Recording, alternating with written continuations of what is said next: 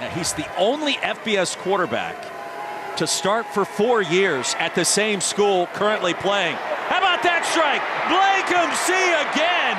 There he goes to the end zone. From 69 yards out, how nice was that?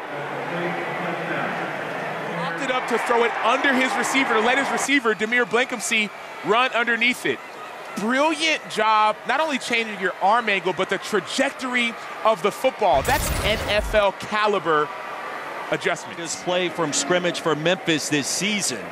And Blankumsee, six grabs, 142 yards and two touchdowns. They said they wanted more explosives. How about this? But Demeer, you need to take a page from your quarterback, the end zone celebration.